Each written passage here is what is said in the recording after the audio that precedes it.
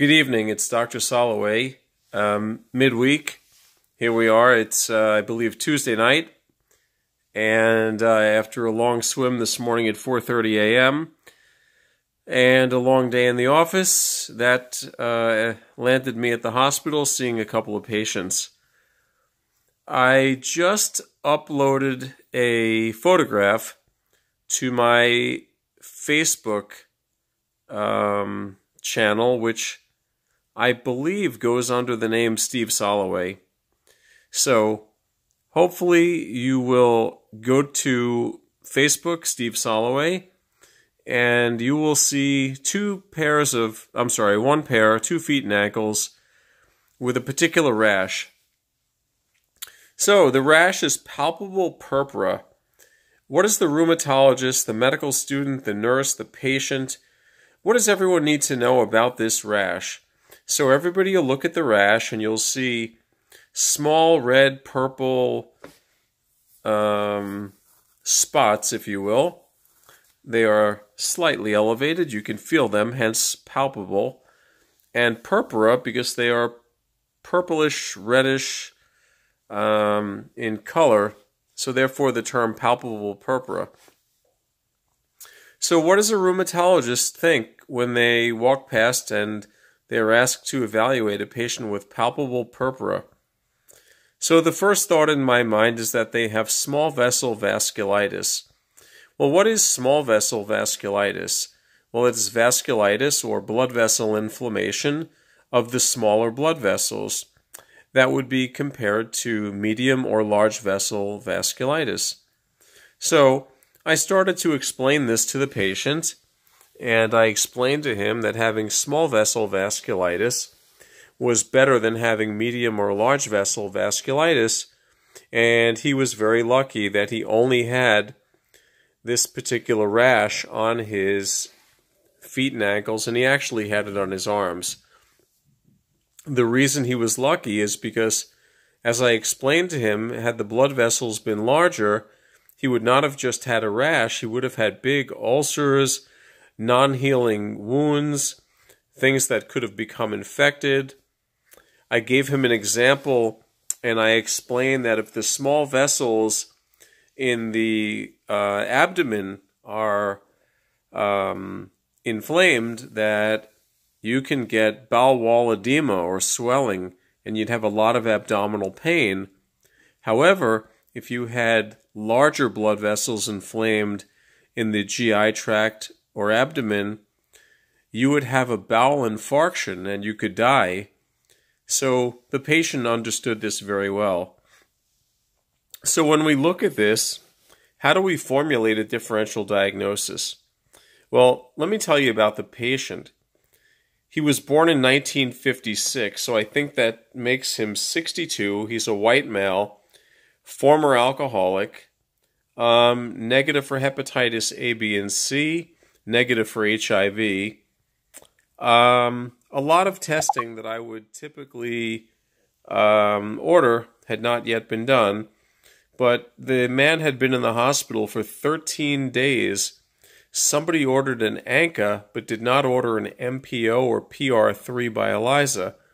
So I was not called because of the rash. I was called because the atypical P ANCA was positive. And uh, I'll tell you that the patient had a negative uh, serum drug screen upon admission to the hospital. He apparently has other health problems, including um, congestive heart failure, um, alcoholism. Um, he has a cardiac thrombus. This is going to be important later in my discussion. So I questioned him. He did not have joint pain, and he really had no other features of disease other than the fact it was noted that when he came in, his transaminases or his liver functions were abnormal, and when he came in, his kidney function was not particularly good either.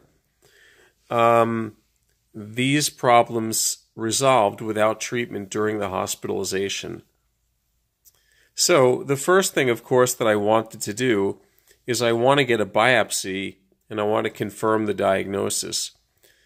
And it's important to confirm the diagnosis because otherwise you have a working diagnosis as opposed to a proven diagnosis.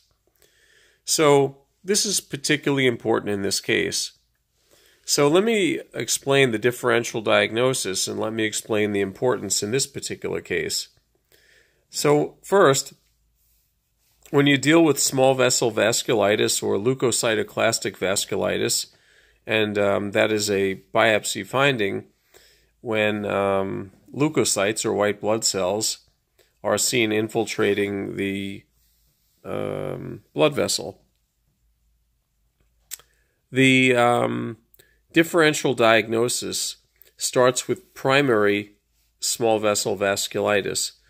This includes Henoch-Schönlein purpura, now known as IgA vasculitis, hypersensitivity or allergic vasculitis, hypocomplementemic or urticarial vasculitis, cryoglobulinemic vasculitis, and the ANCA vasculitides, MPO or PR3.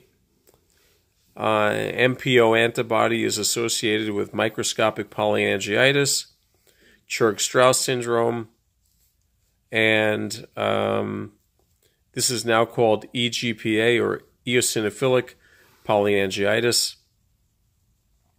And the PR3 antibody is uh, what used to be called um, Wegener's granulomatosis.